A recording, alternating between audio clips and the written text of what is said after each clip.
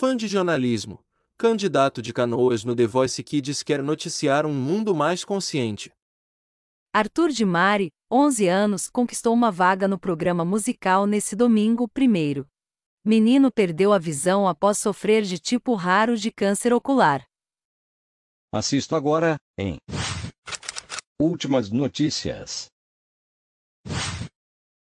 Foi com a música Apenas um Rapaz Latino-Americano, de Belchior, que Arthur de Mari, 11 anos, conseguiu uma vaga nas audições do The Voice Kids, da TV Globo, neste domingo, primeiro.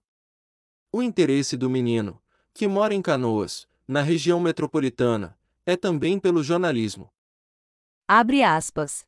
Quando eu for jornalista, quero noticiar um mundo mais consciente, um mundo de inclusão. Fecha aspas. Afirma. Quando Arthur tinha quatro meses, a família descobriu que ele tinha uma retinoblastoma bilateral, um tipo raro de câncer ocular.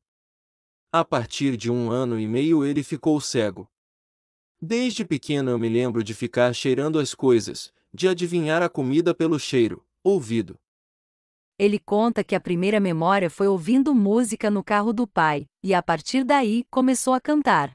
Foi também nos primeiros anos de vida que o jornalismo se tornou uma área de interesse. Abre aspas. A brincadeira de fazer telejornais e me interessar também muito por assistir vem desde que eu me conheço por gente. Fecha aspas. Afirma Arthur. Depois da cadeira todos os jurados virarem, Arthur escolheu o time de Carlinhos Brown. Ele segue agora para as etapas eliminatórias do The Voice Kids. Se inscreva para acompanhar a cobertura desta e de muitas outras notícias. Veja também essas outras notícias que podem ser do seu interesse.